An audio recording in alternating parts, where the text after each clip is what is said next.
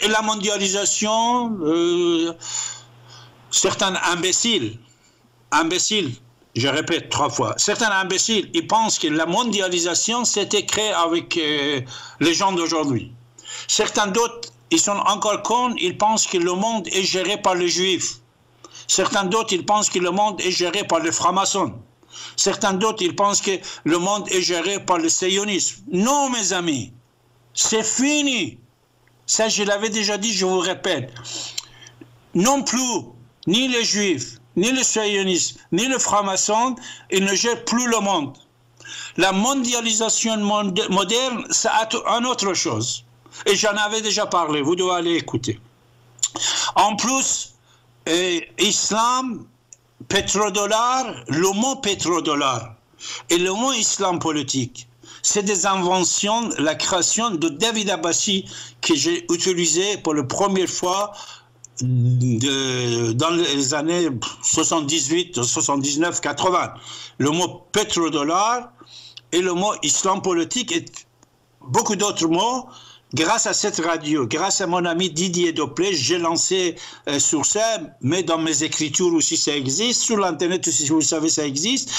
Voilà, c'est-à-dire même la mondialisation d'aujourd'hui, ce n'est pas ce qui était avant.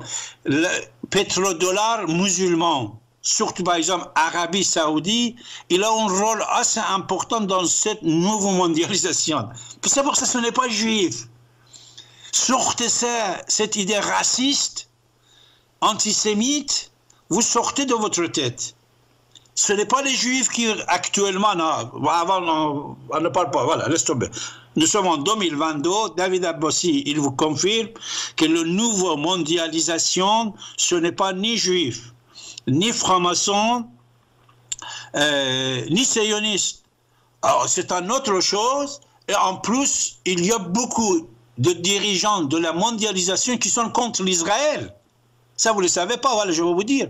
C'est pour ça que même Israël, il est en train de vacciner, vous savez combien Mais c'est pour ça que même quand vous écoutez le patron de la mondialisation, ah, il fait des actes contre Israël. Allez-y sur l'Internet, cherchez. Cherchez sur l'Internet. Les Juifs, ils considèrent le patron de la mondialisation contre Israël. Alors vous êtes dans vos idées de, euh, dernier siècle, siècle même pas le 20e siècle, parce que nous sommes dans le 21e. Le 19e, 18e siècle, c'est terminé. Un autre monde qui a commencé, ça, ça, ça a déjà commencé depuis le chute du Shah d'Iran. Ça a commencé. Après, ils ont préparé. Au départ, il y avait certains dirigeants des pays musulmans qui sont résistés euh, qui n'ont pas fait comme Shah d'Iran. Shah d'Iran, il a pris la fuite, il est parti du pays, pays à la main des islamistes, et ils ont avancé. Mais par exemple, le roi de Maroc, les Algériens, le roi de Jordanie, euh, président euh, d'Irak, ah, ces gens-là, ils ont massacré les opposants, ils les ont tués, même Hafez Assad en Syrie, ça a retardé de 40 ans le nouveau mondialisation. Ça, je ne peux pas vous dire ici énormément de choses. Ça, même si je veux dire dans une université, il faut créer un doctorat pour ça, que je, je parle pendant plusieurs années, euh, une heure, deux heures, trois heures par semaine. C'est tellement vague, mes chers amis. Pour ça, vous ne savez pas énormément des choses qui passent euh, dans le monde et vous dites ah vaccin je vais être contrôlé par les juifs non même les juifs eux-mêmes ils sont victimes même les, même les francs-maçons, ils sont victimes. Allez-y, faites des recherches, s'il vous plaît, parmi les morts à cause de coronavirus dans le monde entier, qu'il soit les États-Unis, la Russie, en Europe, euh, combien de grandes patronnes de franc-maçonnerie, grandes maîtres, étaient morts dedans. En Israël, nous, exemple c'est Israël, écoutez au moins les informations d'Israël. Pour ça, vous devez savoir, mes chers amis, le nouvel ordre mondial, ce nouvel ordre mondial, nouveau globalisme, euh, ça, c'est tout à fait différent. Et vous devez aller écouter mes émissions précédentes. J'en avais parlé énormément. Vous devez mettre 10 heures, 15 heures pour l'écouter. Vous avez l'archive de la radio ici maintenant.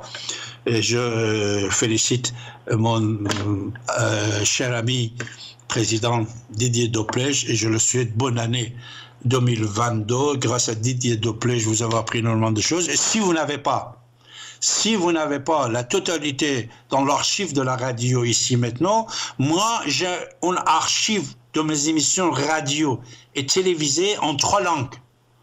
En français, en arabe et en persan. En persan, j'ai plus de 5000 émissions de vidéos. Vous tapez sur Google David Abbassi, David Abbassi, et sur YouTube, ah, vous en avez tout ça. Il y a des sections réservées pour mes émissions français. Vous allez écouter, j'ai expliqué tout ça avec des preuves, des documents, avec des paroles des individus, des paroles. Certains s'étaient effacés, certains d'autres restent. Vous pouvez écouter. Vous devez enrichir votre savoir. Vous devez changer votre tête, penser moderne. Fin du monde est arrivé. Fin du monde, c'était l'ancien monde avant. Avec nouveau monde, qui c'est le digital, digital, qui règne, c'est un autre monde qui a commencé. Didier, il vous avait diffusé Fin du monde, une émission de 1 heure et quelques minutes. Ça aussi, de nouveau, vous devez écouter. Dans cette émission, il dit, même il y a déjà 7000 ans, il y avait une civilisation digitale, comme digitale d'aujourd'hui, mais c'était disparu on ne sait pas comment. C'était d'Arabie Saoudite d'aujourd'hui, Nuom. Vous, savez, le euh, City, Nuom, on est en train de le créer en Arabie Saoudite. Ça, presque, je vais vous dire, presque c'est Arabie Saoudite qui est le chef, actuellement le patron de Nouveau Monde, globalisme. Vous voyez? C'est les Arabes, surtout Arabie Saoudite. Cet garçon qui, jouait euh, au PlayStation, au jeu euh, patati patata, qui, est presque le roi, c'est lui. Le, nouveau mondialisation, c'est une autre chose. Vous devez faire des enquêtes, des recherches, sortez de chez vous, même si vous êtes chez vous, allez-y, cherchez, cherchez, vous allez trouver. Le monde n'est pas comme avant. Voilà, 08 92 23 95 20. On ne peut pas tout dire dans quelques minutes. Euh, faites des recherches, mes chers amis. Changez votre tête. Il faut changer de tête. Moi-même, j'ai changé ma, tête beaucoup. Hein. Grâce à Didier Doplège, mon ami. J'ai connu l'Internet dès l'année 1994. Euh, Didier, pour moi, c'était, pour moi, hein, c'était comme un dieu. Puisque dès que j'ai connu l'Internet, dès que euh, j'ai connu l'Internet, Bernard, je vais te prendre tout de suite alors. Dès que, dès que j'ai connu l'Internet, ma vie a été changée depuis 1994. Et toujours j'étais up to date. Alors mes émissions en plusieurs langues, vous pouvez aller sur YouTube, youtube.com, vous tapez, après vous mettez slash Meher TV. TV, c'est très facile. Il y en a un H pour Meher TV. M comme maman. E comme étoile. H comme euh, Hélène, par exemple, euh, mais SRR comme Raymond à la fin. YouTube.com, mais TV. Après, vous choisissez, il y en a plusieurs milliers de, des émissions en plusieurs langues. Vous choisissez FR français, vous écoutez les émissions. J'ai donné beaucoup d'explications à ce sujet depuis 2020. Euh, Bernard, euh, bonsoir et bonne année, cher Bernard. C'est un autre Bernard. Hein? Euh, on vous euh, écoute, cher Bernard. Bonne année, comment allez-vous? Bonsoir, bonsoir, monsieur que vous m'entendez bien?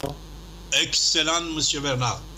Mon cher Bernard. J'étais déjà intervenu sous un autre nom, mais ça vous avait mis sur une fausse piste, donc j'emploie le nom Bernard euh, pour intervenir ce soir. Alors je voulais. Ah non, tu as triché Comment? Tu as triché ben, j'ai pas triché, mais la dernière fois que j'avais dit un Non, non, non, écoute bien. Écoute, écoute. Quand je, ah, parle, je, eh. quand je parle, je devais euh, fermer ton microphone. Voilà. Euh, fermer le microphone de Bernard. Bernard, j'ai dit ça. J'ai dit, toi, tricher avec T, tricher, c'est-à-dire quand tu ne, donnes pas ton nom euh, seulement pour David Abbassi, pour la radio, ici maintenant, tu triches, ce qui n'est pas bien. Je vous écoute quand même. Allez, vas-y. Oui, c'est bon. Euh, d'accord, ok. C'est un... Alors, alors je moi, il y a une chose que je comprends pas en fait. Tous les gens en France, dans notre pays, qui ont voulu se faire vacciner, ont reçu euh, les doses de vaccins qu'ils jugeaient nécessaires. Est-ce qu'il y a des gens qui n'ont pas eu assez de vaccins, qui ont manqué de vaccins? Tous ceux qui ont voulu se faire vacciner ont été effectivement vaccinés. Il reste 6 millions de personnes qui ne veulent absolument pas se faire vacciner. Alors moi, la question que je me pose, c'est ces gens qui ne veulent pas se faire vacciner, ils ont décidé qu'ils ne se feraient pas vacciner, ils ont pris leurs responsabilités vis-à-vis d'eux-mêmes, et peut-être euh, ces gens-là, tous ceux qui veulent se protéger du virus, ont pu se faire vacciner. On les a pas, euh, les gens qui ne se font pas vacciner, ils les empêchent pas de se faire vacciner. Dès lors, pourquoi nous, les gens qui ne voulons pas nous faire vacciner, on ne nous laisse pas mourir tranquille? Pourquoi vous ne nous laissez pas mourir tranquillement? Parce que nous, si on était 6 millions de gens à mourir, eh bien la France irait beaucoup mieux, ça, résoudrait le problème du chômage, puisqu'il y a 6 millions de chômeurs en France. Alors là, ce que je ne comprends pas, c'est l'énervement des gens euh, qui veulent obligatoirement nous pousser à nous faire vacciner, de nous traiter de déserteurs, d'assassins, de criminels, euh, dans, euh, certains traitent les, non les antivax de cons, euh, des, des, Ok, ok, on va pas répéter. ok, on va pas répéter. Mais j'ai une question, s'il te plaît. par exemple, toi, tu ne veux pas être vacciné. Est-ce que tu peux me dire, s'il te plaît, pourquoi tu ne veux pas être vacciné, s'il te plaît? J'ai 71 ans, monsieur Abbassi. J'ai attrapé le Covid au mois de juillet. Et je suis ici en train de vous parler en ce moment. Donc je ne suis pas mort. Déjà, c'est une bonne, euh, c'est une explication à laquelle, pour, pour laquelle euh, je, vous dis que c'est pas euh, se vacciner ou mourir. On peut aussi ne pas être vacciné, attraper le Covid et rester vivant. Alors maintenant, je voudrais vous, vous répondre. Non. Oui, allô? Oui, oui, je vous écoute, allez-y. Vous allez m'en répondre.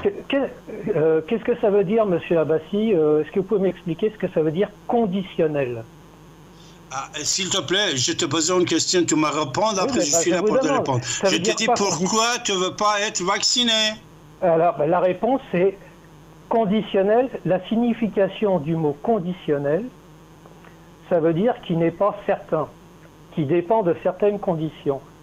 Ce vaccin a, autorisé, a reçu de la part de la de euh, l'autorité de sécurité du médicament une autorisation conditionnelle. Ce n'est pas une autorisation définitive parce qu'elle n'a pas franchi tous les, toutes les étapes qui peuvent aboutir à une autorisation définitive. Définitive, c'est le contraire de conditionnel. Elle n'a pas encore elle n'a pas encore eu l'autorisation définitive de mise sur le marché. C'est ça que je te dis. Euh, pardon, pardon, pardon, pardon, écoute, écoute. C'est ça que je viens de te dire, tu m'as pas écouté, c'est moi que je te dis ça. En plus, c'est moi que j'ai dit ça il y a déjà un an et demi. Ça, je le sais, c'est pas la peine de répéter. Mais euh, s'il te plaît, on est face à face. Tu me réponds, laisse tomber conditionné, pas conditionné. Alors, tu m'as pas répondu. Deuxième question que je vais te poser. Est-ce que tu sais, au moins, est-ce que tu connais le virus corona, tu le connais ou non? Est-ce que tu sais que si tu attrapes ce virus, il y a 100% le risque que tu le donnes aux autres personnes, s'il te plaît. La réponse, je crois qu'elle est claire et nette. Je te demande une réponse euh, claire et nette. Monsieur Abbassi, euh, je ne téléphone pas pour répondre à vos questions, mais pour faire passer quelque chose que j'ai envie de faire passer, sinon c'est pas la peine. Ou alors, alors c'est la troisième fois qu'il te vient sur l'antenne. Philippe, merci, au revoir. Alors, euh, déjà, je te remercie beaucoup de, de, de venir de nouveau. Imaginez-vous, mes chers amis, je suis votre copain, votre ami, David Abbassi. Je, ne suis pas un tatatitat. Déjà, j'ai dit au départ de mon, euh, dialogue avec notre ami, euh, que je ne vais pas citer son nom, que puisque c'est lui-même qui a dit qu'il a changé de nom pour pouvoir parler. Avec l'individu, il triche sur son radio, parce que c'est ton radio aussi, hein. c'est votre radio. C'est vrai que euh, ah, c'est Didier qui, qui, qui, a tout le, douleur de cette radio depuis plus de 40 ans. Mais c'est votre radio, c'est votre vie, vous écoutez cette radio. Tu pour pouvoir parler et dire n'importe quoi, parce que ce que tu dis, ce n'est pas ni rationnel, ni répondre aux questions conditionnelles. Moi, je te pose des questions. Vous voyez, euh, déjà après, mon cher ami, tu triches, tu mentes. Mon cher ami, avec tout le respect que j'ai pour vous, bonne année, toutes mes meilleures voeux. Vous êtes un menteur, vous mentez pour, prendre la parole et dire n'importe quoi. Euh, je vous prie, mon cher ami, encore bonne année, de te regarder dans ton miroir. Et les autres aussi qui t'aiment, parce qu'il y a des gens peut-être qui t'aiment, qui pensent comme toi, mais ils ont une chose que tu as fait. Comme je dis à Abdel, à Abdel, quand il a dit les gens qui ne vont pas être vaccinés, il faut sortir d'ici, le toi, même j'ai critiqué Abdel sur certains points. À toi aussi, je vais te dire ça, mon ami. Toi, tu triches pour venir sur l'antenne. Ça, c'est pas gentil. Je veux pas dire d'autres mots. C'est pas gentil. Et personne n'a pas le droit de te défendre dès maintenant, puisque tu as triché, tu as menti, c'est quelqu'un qui mente officiellement. Même les gens comme vous, vous savez, euh, ça me fait rappeler les islamistes des années 80, 90, 2000, que, lui-même, il savait qu'il parle dans l'air. Mais puisqu'il était dans le mosquée, il devait nous appeler, il, il appelait, il parlait, il parlait, il parlait. Vous aussi, peut-être, vous avez euh, été vacciné vous-même. Hein. Après, vous voulez seulement parler, vous voulez contester, vous voulez sortir la haine que vous avez contre ça, contre ça. Par exemple, ce que je viens de dire concernant la mondialisation, tout ça, et vous devez aller réfléchir pendant un mois. Après, vous revenez. Mais vous revenez avec un autre euh, nom. Euh, euh, et toi-même, en plus, tu dis, parce que tu sais que si tu ne le dis pas, moi, je le sais. Même standard en, c'est vous. Vous êtes menteur et vous, vous venez sur cette antenne pour démentir d'autres personnes. S'il vous plaît, regardez-vous dans le miroir. Mes chers amis, encore je vous souhaite bonne année pour toutes et tous. Euh, meilleurs vœux. C'était premier euh, samedi de l'année et premier samedi du mois de janvier et que je suis avec vous. Euh, tous mes respects. Mais vous savez, euh, voilà, je vais vous apprendre quelque chose maintenant. Maintenant, c'est l'université de David Abbassi au Radio ici maintenant qui va commencer. Voilà. Je vais vous apprendre quelque chose que vous ne savez pas. Vous avez entendu que le printemps d'arabe a commencé beaucoup euh, de, vous, vous avez joué dans ce printemps d'arabe. Mais vous ne savez pas comment ça a été commencé. Euh, pourtant, vous avez écouté cette radio. Cette radio, vous avez écouté. Vous voyez, de temps en temps, il y a certains qui ne captent pas ce qu'il fallait. Pourquoi? Puisqu'il vient de dire des choses que moi-même je viens de dire il y a déjà deux minutes. je vais dire ça. Oh, il y a certains qui vont venir dire ce qu'ils vont. Venez avec grand plaisir, si vous avez la parole, mais euh, ne montez pas être mentor, c'est pas bien. Alors, ce que je vais vous apprendre ce soir, c'est le printemps arabe, comment ça a commencé. Printemps arabe, c'est vrai que ça a commencé à partir de la Tunisie. Mais euh, M. Bouaziz, qui s'est fait brûler, c'est lui qui l'a fait le, euh, brouiller. Tous mes respects pour l'âme de cet individu martyr pour la liberté de la Tunisie qui est tombé dans, le piège des islamistes, Rachid Ben Ghanouch. Mais il y avait un euh, ministre euh, de la Défense, ministre de service de renseignement de Habib Bourguibé. C'est lui qui l'avait ramené au pouvoir euh, Zainul Abedin Ben Ali. Ben Ali, c'était son élève presque. Lui, il va prendre cet individu, il le ramène dans l'armée, dans le service de renseignement. Après, lui, il va prendre le place, il devient président. Et ce monsieur qui l'avait monté, il va être obligé de quitter la Tunisie. Et il était en France depuis des années, euh, depuis que Ben Ali est venu. Il s'appelle monsieur euh, le ministre Ahmad Ben Nour. Ahmad Ben Nour, c'est un, un ami. Je le connais depuis une trentaine d'années. Euh, plusieurs fois, il venait aux Champs-Élysées me voir, etc., etc.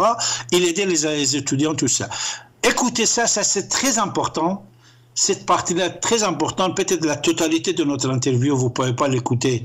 Vous allez sur le euh, YouTube de David Abbassi, vous tapez youtube.com slash TV, il y en a un H pour Mehr. vous voyez, Mehr TV. Euh, vous allez écouter la totalité. Mais cette proposition au lieu de obligation. On est là, de temps en temps, si on ne pense pas comme les autres, on propose des choses.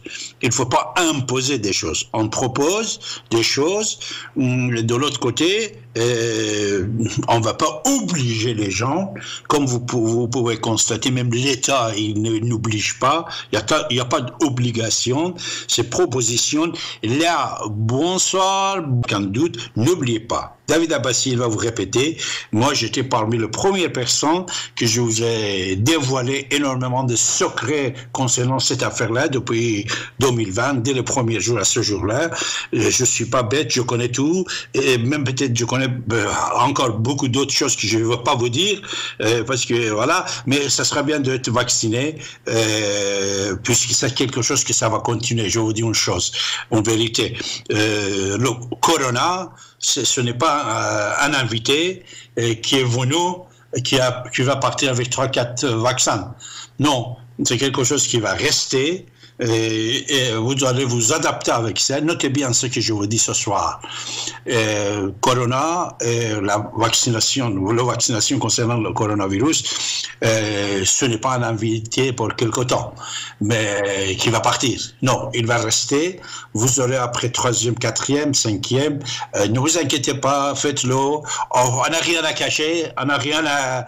Euh, vous savez, dans ce monde-là que nous vivons, je crois que vous avez entendu depuis déjà le 22, euh, mais c'est déjà, nous sommes dans le deuxième jour du mois de janvier, puisqu'il est vite, minuit, vite. Voilà, et vous avez la parole. Bernard, euh, si tu écoutes David, David il te conseille d'être vacciné, mon ami. Euh, puisqu'on voulait écraser l'ancien monde. L'ancien monde s'est terminé, le nouveau monde s'est commencé. Malheureusement, je ne peux pas vous donner des explications dans euh, une, deux, trois, dix, dix émissions parce que